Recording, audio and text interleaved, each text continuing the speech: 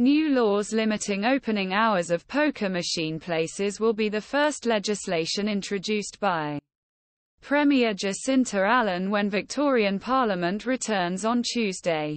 The reform was part of changes made in rules regulating electronic gambling industry declared by state government in July. Victoria Prime Minister Jacinta Allan held his first cabinet meeting as a leader on Monday.